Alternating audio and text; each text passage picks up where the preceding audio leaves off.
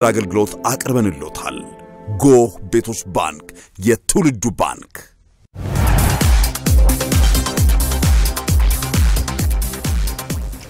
በድጋሚ እንደምንዋላችሁ የተከበራችሁ ተመልካቾቻችን፣ የስፖርት ዘገባ አጋሮቻችን እናመሰግናለን። በሀገር ውስጥ መረጃዎችም ይጀምራለሁ።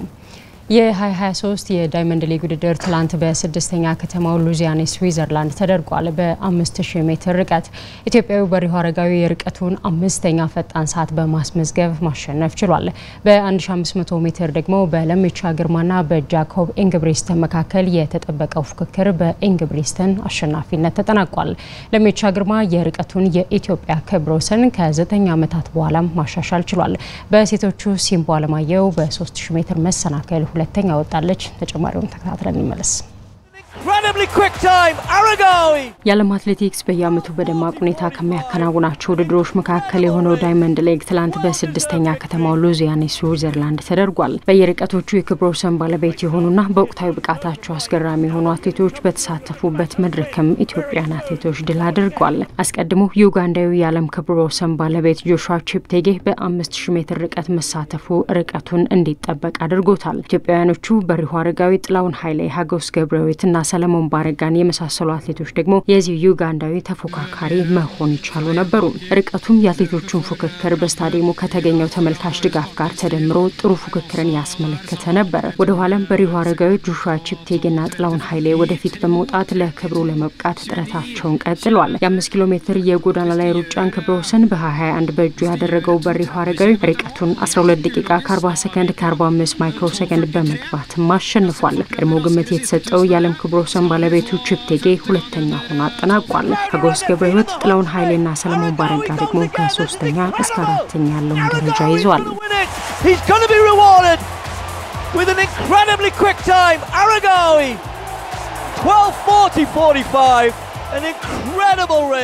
በሪሁ አረጋዊ የገባበት ሰዓት በርቀቱ አምስተኛው ፈጣን ሰዓት ሆኖ ሲመዘገብ ከሱ አስቀድሞ ጆሹዋ ቼፕቴጌ፣ ቀነኒሳ በቀለ፣ ኃይሌ ገብረ ስላሴና ዳንኤል ኮማን ተቀምጧል። ሀገውስ ገብረ ሕይወትና ጥላውን ኃይሌ የዓመቱን የራሳቸውን ፈጣን ሰዓትን በርቀቱ ማስመዝገብ ችሏል። በምሽቱ ሌላኛው ተጠባቂ የነበረው ርቀት የ1500 ሜትር ወንዶች ነበር። ኢትዮጵያዊው የ3000 ሜትር መሰናከል የዓለም ባለክብረ ወሰኑ ለሜቻ ግርማ ከጃኮብ ኢንግብሪስተን የሚያደርጉት ፉክክርም ትልቅ ግምትን አግኝቶ ነበር። የኦሎምፒክ የወርቅ ሜዳሊያ ባለክብሩ ኖርዌዩ ጃኮብ ኢንግብሪስተንም ለሜቻ ግርማን አስከትሎ ማሸነፍ ችሏል። የገባበት ሰዓትም 3 ደቂቃ ከ28 ሰከንድ ከ72 ማይክሮ ሰከንድ ሲሆን የቦታው ክብረ ወሰንም ሆኖ ተመዝግቦለታል። two. ለሜቻ ግርማ ከዘጠኝ ዓመታት በኋላ የኢትዮጵያን ክብረ ወሰን ማሻሻል የቻለበትን ሰዓት ነው ያስመዘገበው። በፈረንጆቹ 2014 ሞናኮ ላይ አማን ወጤ በርቀቱ 3 ደቂቃ ከ29 ሰከንድ ከ91 ማይክሮ ሰከንድ በመግባት ክብረ ወሰኑን አስመዝግቦ የነበረ ሲሆን ለሜቻ በ40 ሰከንድ በማሻሻል 3 ደቂቃ ከ29 ሰከንድ ከ51 ማይክሮ ሰከንድ በመግባት የግሉ አድርጎታል። እንግሊዛዊ ጆሽ ኬር ሶስተኛ ሆኖ ርቀቱን አጠናቋል። ሌላኛው ኢትዮጵያዊ ታደሰ ለሜ ስምንተኛ ሆኖ ጨርሷል። በሴቶቹ በኩል በ3000 ሜትር መሰናክል ኢትዮጵያዊቷ ሲምቦ አለማየሁ ሁለተኛ ሆና አጠናቃለች። በአውስትራሊያ ባትረስት በተደረገው የዓለም ሀገር አቋራጭ ሻምፒዮና ላይ ባለክብር የሆነችው ኬንያዊቷ ወጣት አትሌት ቢያትሪስ የቦታውን ክብረ ወሰን በማሻሻል ጭምር ማሸነፍ ችላለች። 9 ደቂቃ ከ05 ሰከንድ ከ98 ማይክሮ ሰከንድ ደግሞ የገባችበት የቦታው ክብረ ወሰን ሰዓት ነው። የ18 ዓመቷ ሲምቦ አለማየሁ ከ20 ዓመት በታች አትሌቲክስ ሻምፒዮና ላይ የርቀቱ ፈጣን ሰዓት በእጇ የሚገኝ ሲሆን በዚህ ርቀት በቀጣዩ የዓለም ሻምፒዮና ላይ ትጠበቃለችም። ፔሩዝ ቹሙታይ ከዩጋንዳ ሶስተኛ ሆና አጠናቃለች። ኢትዮጵያውያኖቹ ዘርፌ ወንድማገኝ አራተኛ፣ ሎሚ ሙለታ አምስተኛ ሆነው ውድድራቸውን ጨርሷል። በሉዚያኔ ዳይመንድ ሊግ ውድድር በርካታ ክብረ ወሰኖች የተመዘገቡ ሲሆን በአጭር ርቀትና በሜዳ ላይ ተግባራት ደግሞ ጥሩ ፉክክር የታየበት እንደነበር የዓለም አትሌቲክስ አስነብቧል። የኢትዮጵያ ብሔራዊ ቡድን በመጪው ሐምሌ ወር ወደ አሜሪካ በመጓዝ ሁለት የወዳጅነት ጨዋታዎችን ያደርጋል። ብሔራዊ ቡድኑ ሐምሌ 26 2015 ዓ.ም ከጉያና ብሔራዊ ቡድን ጋር በአሜሪካ ዋሽንግተን ዲሲ ጨዋታውን የሚያደርግ ሲሆን ሐምሌ 29 ደግሞ ከአሜሪካው ክለብ አታላንታ ሮቨርስ ጋር አታላንታ ከተማ ላይ ይጫወታል። ብሔራዊ ቡድኑ አሜሪካ ላይ የሚያደርጋቸውን ጨዋታዎችን አስመልክቶም ፌዴሬሽኑ መግለጫ ሰጥቷል። የጽህፈት ቤት ኃላፊው አቶ ባህሩ ጥላሁን ብሔራዊ ቡድኑ በአሜሪካ ከሚገኙ የኢትዮጵያ ማህበረሰብ አባላት ጋር ያለውን ቁርጠኝነት ማጠናከር የጉዞ ዋና ዓላማ መሆኑን ገልጸው ፌዴሬሽኑ ቀጣይ የገበያ አማራጮችን ለማግኘትም በር የሚከፍትም እንደሚሆን ተናግረዋል። የጉዞ ዋነኛ ዓላማ አሜሪካን ሀገር ካለው የኢትዮጵያ ማህበረሰብ ጋር connection ብሔራዊ ቡድኑ እንዲፈጠር ማድረግ፣ በዚህ ሂደት ውስጥ ደግሞ contact የምናደርጋቸው even አሁንም approach እያደረጉን ያሉ ትልልቅ company ዎች አሉ። ከነሱ company ዎች ጋር በጋራ የመስራት ለቀጣይ የኢትዮጵያ ብሔራዊ ቡድን መሰል ጉዞዎች ወይም ደግሞ መሰል ፕሮግራሞች አመቺ የሆነ environment ፈጥሮ መመለስ ነው። የ marketing አማራጮች ብሔራዊ ቡድኑ ወይም ፌዴሬሽኑ በተወሰነ ደረጃ ገቢ ሊያገኝ የሚችልባቸውን መድረኮች የሚያመቻች ነው ማለት ነው። ከዚህ ጉዞ በኋላ for sure በቀጣይ ብሔራዊ ቡድናችንም የተለያዩ መድረኮች ላይ እየተጋበዘ ጨዋታዎችን የሚያደርግበት ይሆናል ማለት ነው። እድሉን የፈጠረው በፊፋ ውድድሮችን የማዘጋጀት ሕጋዊ እውቅና ያለው ሲጂኤ ኒውማን የተባለ የጨዋታ ወኪል ሲሆን ሙሉ ወጪውም በዚህ ድርጅት እንደሚሸፈን ተገልጿል። የድርጅቱ ተወካይ አቶ ዳዊት አርጋው ብሔራዊ ቡድኑ አሜሪካ ላይ የሚያደርጋቸው ጨዋታዎች እንደ ሀገር እግር ኳስ ልማት ላይ ለመስራት እድሉን የሚያሰፉና እንደዚህ አይነት መርሃ ግብሮችም በቀጣይ ተጠናክረው እንደሚቀጥሉ ገልጸዋል። አድርጎ ብቻ አይደለም የሚመለሰው። በተለይ አሜሪካ based የሆኑ company ዎችን በ sponsorship ደረጃ በአንዳንድ የ infrastructure የመገንባት ወይ ደግሞ የልምድ ልውውጥም ይሁን የተጫዋቾች የሙከራ ጊዜ በማዘጋጀትም አንዳንድ ነገሮች football ኡን በደንብ ይጠቅማሉ የምንላቸውን ነገሮች ሊያገናኝ ይችላል። ከነዚህ አይነት ተቋሞች ጋራና ከነዚህ አይነት ድርጅቶች ጋራ የመገናኛ platform ይፈጥራል በሚል አምነንበት የገባንበት tour ነው። ይሄ ነገር ደግሞ በዚህ በ trial ደረጃ ታይቶ የሚቀጥሉት ዓመታት ላይ እንደ tournament ተጋባዥ ልትሆን የምትችልበት ኢትዮጵያ ራሷን ችላ ከትልልቅ ሀገሮች ጋር ተጋባዥ ልትሆን የምትችልበትን opportunity ሁሉ ያመቻቸ ነው። ይሄ የመጀመሪያው ነው። አሜሪካ ላይ የሚደረጉ ጨዋታዎች ለተጫዋቾች የ professional እድልን ለማግኘት እንደሚያግዙም የጽህፈት ቤት ኃላፊው አቶ ባህሩ ጥላሁን ተናግረዋል። በዚህ ጉዞ ላይም ኢትዮጵያውያን ተጫዋቾች የሚታዩበትን መድረክ እንደሆነ ለመግለጽ እንወዳለን። ምክንያቱም ይህንን opportunity እየጠበቁ ያሉ አካላቶችም አሉ። እዛው ላይ እድል ሊያገኙ የሚችሉ talented የሆኑ የብሔራዊ ቡድኑ ተጫዋቾች ምናልባት የመጫወት እድልን የሚያገኙበት መድረክም ሊሆን ይችላል። ከተነሱት ሀሳቦች በተጨማሪ ከትውልደ ኢትዮጵያውያን ተጫዋቾች ጋር በተያያዘ በስፔን ሀገር መቀመጫውን ካደረገ አንድ ተቋምና ከፊፋ ጋር እየተሰራ መሆኑን ከመግለጫው ያገኘነው መረጃ ያሳያል። የባህር ዳር ከተማ እግር ኳስ ክለብን ለማጠናከር ያለመ የ10 ኪሎ ሜትር የሩጫ ውድድር ሰኔ 25 ይደረጋል። በዘንድሮ የውድድር ዓመት ስኬታማ ቆይታን ያከናወነው ክለቡ በቀጣይ ዓመት ክለቡ ራሱን በገበያ አጠናክሮ እንዲቀርብ የሚያስችል ውድድር መሆኑን አስመልክቶ የክለቡ የቦርድ ሰብሳቢ፣ የደጋፊ ማህበሩ ፕሬዚዳንትና የመንተዮቹ ማስታወቂያ በጋራ መግለጫ ሰጥቷል። መግለጫውም እንዲህ ተሰናድቷል። ባህር ዳር ከተማ ሰኔ 25 ትልቅ ድግስን አሰናድታለች። የ10 ኪሎ ሜትር የሩጫ ውድድርም ይደረጋል። ሞገዱን ተከትዬ እሮጣለሁ በሚል መሪ መልእክት የሚከናወኑን ሩጫ አስመልክቶም የደጋፊ ማህበሩ ፕሬዚዳንት፣ የክለቡ ቦርድ ሰብሳቢና የክለቡ አጋር በሆነው መንትዮቹ ማስታወቂያ አማካኝነት መግለጫ ተሰጥቷል። አንደኛው የክለቡን ገቢ ማሳደግ ታሳቢ ያደረገ ነው። ሁለተኛው ደጋፊውን ማሰባሰብ እና የሴሌብሬት የማድረጉን ጉዳይ ነው። ሶስተኛው ማመስገን መመሰጋገንና ላገኘነው ውጤትም እውቅና መስጠት ታሳቢ አድርገን እንደ ክለብ የተዘጋጀ ነው። ይህ ዜና እስከ ተጠናከረበት ጊዜ ድረስም እንደታሰበው ባይሆንም ሀያ ሺህ መለያዎች መሸጣቸውን የክለቡ ደጋፊዎች ፕሬዚዳንት ጥላሁን ሰንቴ በመግለጫው አንስቷል። ከ35 እስከ 40 ሺህ እስከ 45 ሺህ ሰው ይሮጣል ብለን ነበር ተስፋ አድርገን የነበረው። ነገር ግን የማሊያ እኛም ዘግይተን ከማዘዛችን ጋር ተያይዞ የመሮጫ ቲሸርቱ የደረሰልን ወደ 20 ሺህ ነው። ከዛ ውጭ ግን እንደ ከተማው ለክለቡ እንዳላቸው ፍቅር እንዳለን ደጋፊ ቁጥር ደግሞ ምናልባትም ከ30 እስከ 35 ሺህ ሰው ይሮጣል ብለን ነው የምናስብ። የክለቡን የተለያዩ መድረኮች ለማከናወን ውል የወሰደው መንትዮቹ ማስታወቂያ ሞገዱን ተከትዬ እሮጣለሁ በሚል መሪ መልእክት የሚከናወነውን የሩጫ ውድድር በአማረና በተሳካ መልኩ ከአጋር አካላት ጋር ለማከናወን ስራዎች ማለቃቸውንም ለማወቅ ችለናል። ለእግር ኳስ ጨዋታ ውበት ከሚሰጡ የሀገራችን ክለብ ደጋፊዎች መካከል አንዱ የሆኑት የባህር ዳር ከተማ ደጋፊዎች በቀጣይ ይህንን ደጋፊ በማስተባበር ቅርንጫፉን የማስፋትና በሀገር ውስጥ ሳይወሰን ስራዎችን ከሀገር ውጭ ለማከናወንም እንቅስቃሴ እየተደረገ መሆኑን የደጋፊ ማህበር ፕሬዚዳንቱ ተናግሯል። በአካባቢው ተወስኖ እንዲቀር አንፈልግም። ፍላጎታችንም አይደለም፣ ስራችንም አይደለም። አፍሪካ ውስጥ ተጽዕኖ ፈጣሪ ከሚባሉ ክለቦች አንዱ እንዲሆን እንፈልጋለን። እንደ ደጋፊ ማህበር መነሻችን ያደረግነው አዲስ አበባ ላይ branch መክፈት ነው። ከዛ እንቀጥላለን ድሬዳዋ፣ ሁሉም 16ቱን ክለቦች ያሉበት ቦታ በሙሉ ከዛ ውጭ የተለያዩ ሀገራት የውክልና ስጡን፣ አስፈላጊውን ነገር እኛም ከዚህ እናሰባስብ የሚባል ጥያቄዎች አሉ። በተለይ ከአሜሪካን ሀገር ከጀርመንና ከጄኔቫ ስዊዘርላንድ፣ ተጨማሪ አፍሪካ ውስጥ ደግሞ ደቡብ አፍሪካ እዛ ቦታ ላይ መገኘት እንኳን ባይቻል በ virtual በኩል communicate አድርገን branch ኦችን እንከፍታለን። ይህም ደግሞ already ወደ ስራ ገብተን እንቅስቃሴዎች የጀመርንበት ሁኔታ ነው ያለው። ይህንን በአይነቱ ልዩ የሆነውን የሩጫ ውድድር ለማከናወን የቅድመ ዝግጅት ስራዎች መጠናቀቃቸውን የተናገሩት የክለቡ የቦርድ ሰብሳቢ የመሮጫ ቦታዎች ተለይተውም ቀኑ በጉጉት እየተጠበቀ መሆኑን አንስተዋል። ከጊዮን ሆቴል ተነስቶ በዲፖ ከዲፖ ገጠር መንገድ የገጠር መንገድ አደባባይን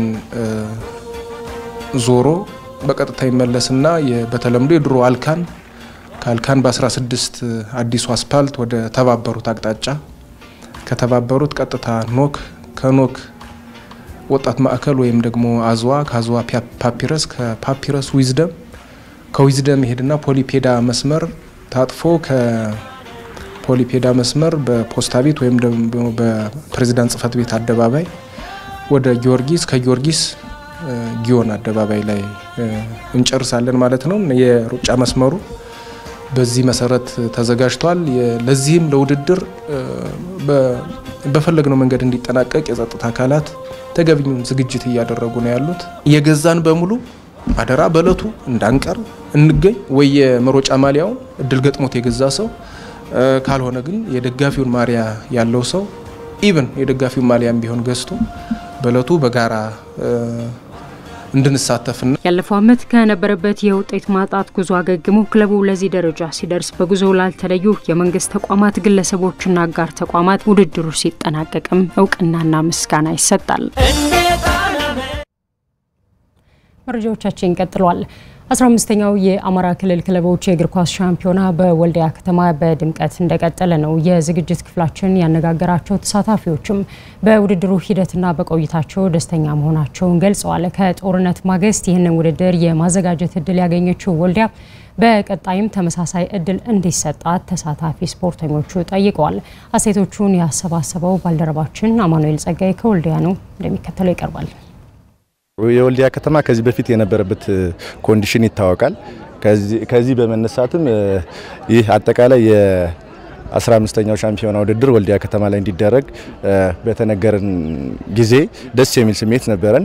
እኛም ወደ ወልዲያ ከተማ የእግር ኳስ ቡድኑን ምዕራብ ጸለምትን ይዘን ስንመጣ ተጫዋቾቹም እኛም መልካም የሆነ ስሜት ነበረን። በህዝቡም በአካባቢው ማህበረሰብም ጥሩ የሆነ አቀባበል ተደርጎልናል። ወልዲያ የሚገርም ሀገር ነው። ከነበረበት ከወቅታዊ ችግሮች ተላቆ ይህንን ስፖርታዊ ውድድሮችን አዘጋጅቶ በጣም በአማረ ሁኔታ ውድድሮች እየተካሄዱ ነው ያሉ። እሱ ደግሞ ህዝቡ ትልቅ የስፖርት ፍቅር እንዳለው የሚያሳይ ነው። እኛ ወልዲያ እንደዚህ አልጠበቅም ነበረ። ምክንያቱም በጦርነት ውስጥ የቆየ ከተማ ስለሆነ ይህን ትልቅ ውድድር ያዘጋጃል የሚል ተስፋም አልነበረንም። ያው ግን እንደጠበቅ ነው አልነበረም። ያው ፍጹም ጨዋነት በተሞላበት የተሻለ ውድድር እየተካሄደ ነው የሚገኘው። እንደተመለከታችሁት እጅግ በጣም አሪፍ ነው። የወልዲያ ማህበረሰብ እጅግ በጣም በሚያምር ሁኔታ ድሮም እንደምንሰማው ወሎ ፍቅር ነው የሀገሪቱ የኢትዮጵያ ተምሳሌት እንደሆነ ማንም ሰው የሚረዳው ነው። የመሬት ላይ ሀቅ ነው። እኛም ወልዲያ ፍቅር ብለን በሰላም ከትመናል። ደስ የሚል ቆይታ ነው ያለ ነው። የውድድሩ ሂደት በጣም ደስ የሚል ነው ያለው የህዝቡ መንፈስም ከነበረው አኳያ በጣም ደስ የሚል ነገር ያለው በጣም ተመችቶናል።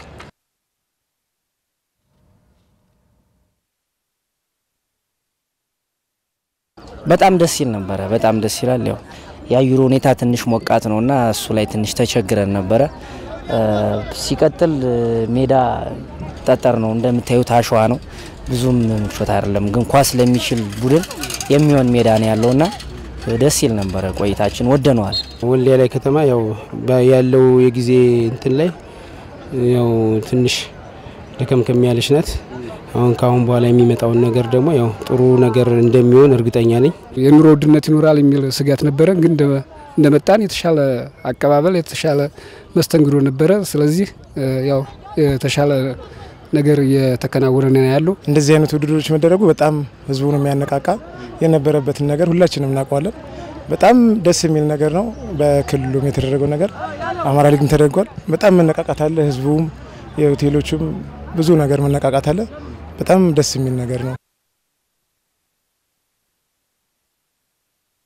እንደዚህ አይነት ውድድሮችን ማዘጋጀት፣ ትላልቅ ስብሰባዎች ካሉ ወደዚህ እንዲመጡ ማድረግ፣ ሌሎች ሌሎችን እንትኖችን እንደ ሌላም የባዛር አይነት ትርኢቶችን እንትን እያሉ ህብረተሰቡ ከደረሰበት የኢኮኖሚ ቀውስ ወዲያውኑ አገግሞ ወደ ልማት እንዲገባ እንደምታያት ወደ ማለት ናት ወልዲያ የተሻለ እንቅስቃሴ ያለባት ናት። ስለዚህ ብዙ ነገር ከስራለች። አሁን ግን ወደ ማገገሙ እንዲመጣ መንግስት እንደዚህ አይነት ውድድሮችን ቢያዘጋጅ የሚል ሀሳብ ነው ያለኝ። ተደጋጋሚ የስፖርት እድል ቢሰጣት ወልዲያ ከተማ ቢሰጣት ጥሩ የሆነ ነገር አቀባበል እንደሚደረግ እርግጠኛ ነኝ። በእኔ ወልዲያ ትንሽ ቆየት ያለ ጊዜም በጦርነቱ ምክንያት የተያዘች አካባቢ ስለሆነች እንደምታየው ስቴዲየም ሆድ ብሶታል እና በመጀመሪያው አይነት ውበት ላይ አይደለም ያለው። ስለዚህ የከተማ ማህበረሰብ ቶሎ ወደ መጀመሪያው ይሄ ውድድር ትልቅ እገዛ ያደርግለታል ብዬ አስባለሁ። አንደኛ economically የመጣው ቡድን ያለውን ነገር እዚህ invest አድርጎ ይሄዳል።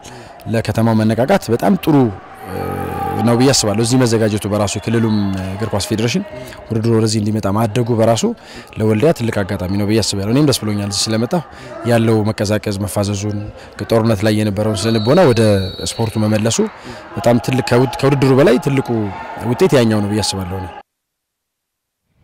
የኢትዮጵያ ክልል ክለቦች ሻምፒዮና በሐዋሳ ከተማ መካሄዱን ሲቀጥል ትላንት የምድብ የመጨረሻ ጨዋታዎች ተደርጓል። በመድረኩ አማራ ክልልን የወከሉት አራቱም ክለቦች ጥሎ ማለፉን ተቀላቅሏል። ትላንት ጨዋታቸውን ያደረጉት ደንበጫ ከተማና ቲሊሊ ከተማ ተጋጣሚዎቻቸውን በሰፊ የግብ ልዩነት በመርታት ጥሎ ማለፉን ሲቀላቀሉ፣ ቦረና መካነ ሰላም ከአርባ ምንጭ ዙሪያ ጋር ያደረገውን ጨዋታ አንዳቻ ተለያይቶ ወደ ጥሎ ማለፍ መግባቱን አረጋግጧል። ከእነዚህ ክለቦች በተጨማሪ ጎንደር አራዳ ቀደም ብሎ ወደ ጥሎ ማለፉ የገባ ክለብ ነው። የጥሎ ማለፍ ጨዋታዎች የፊታችን ሰኞም ይደረጋሉ። በጥሎ ማለፉ የአማራ ክልል ተወካዮቹ ቲሊሊ ከተማና ቦረና መካነ ሰላም እርስ በርስ ይገናኛሉ። ጎንደር አራዳ ከኩርሙክ ጎሌ እንዲሁም ደንበጫ ከተማ ከመልካ ኖኖ ይገናኛሉ። በሌላ በኩል 29ኛ ሳምንት ቤትኪንግ የኢትዮጵያ ፕሪምየር ሊግ ትላንት ቀጥሎ ሲደረግ አዳማ ከተማና ፋሲል ከነማ ድል አድርጓል። ምሽት 12 ሰዓት ላይ መውረዱን ያረጋገጠውን ኢትዮ ኤሌክትሪክን የገጠመው ፋሲል ከነማ ሁለት ለአንድም ተጋጣሚውን ማሸነፍ ችሏል። አለም ብርሃን ይግዛውና ኦሴ ማውሌ ለአጼዎቹ ግቦቹን ሲያስቆጥሩ ለኢትዮ ኤሌክትሪክ ከመሸነፍ ያልታደገችዋን ብቸኛ ግብ የቀድሞው የፋሲል ከነማ ተጫዋች አብዱራህማን ሙባረክ አስቆጥሯል። ውጤቱን ተከትሎም ፋሲል ከነማ በ42 ነጥብ ደረጃውን ወደ አራተኛ ሲያሳድግ ኢትዮ ኤሌክትሪክ በ12 ነጥብ የደረጃ ሰንጠረዡ ግርጌ ላይ ተቀምጧል። ከዚህ ጨዋታ ቀደም ብሎ 9 ሰዓት ላይ አዳማን ከኢትዮጵያ መድን ያገናኘው ጨዋታ በአዳማ ከተማ ሶስት ለባዶ አሸናፊነት ተጠናቋል። ለአዳማ ከተማ የማሸነፊያ ግቦቹን ደስታ ዮሐንስ፣ ቢንያም አይተንና አብዱል ከሪም መሐመድ በራሱ መረብ ላይ አስቆጥሯል። በጨዋታው ቢንያም አይተን ያስቆጠራት ድንቅ ግብ አድናቆትን አስገኝታለታለች። የጨዋታው ልዩነት ፈጣሪም ተብሏል። በውጤቱም አዳማ ከተማ በ40 ነጥብ ደረጃውን ወደ ስድስተኛ ከፍ ሲያደርግ ኢትዮጵያ መድን በ49 ነጥብ ይዞ በነበረበት ሶስተኛ ደረጃ ላይ ተቀምጧል። መድን ትላንት መሸነፉን ተከትሎ ባህር ዳር ከተማ ሁለት የሊግ ጨዋታ እየቀረው በሚቀጥለው የውድድር ዓመት ለካፍ የኮንፌዴሬሽን ዋንጫ ተሳታፊ መሆኑን አረጋግጧል። ፕሪሚየር ሊጉ ዛሬም ይቀጥላል። ሁለት ጨዋታዎችም ይደረጋሉ። ቀን 9 ሰዓት ላይ ለገጣፎ ለገዳዴ ከሲዳማ ቡና፣ 12 ሰዓት ላይ ደግሞ ኢትዮጵያ ቡና ከመቻል ይጫወታሉ።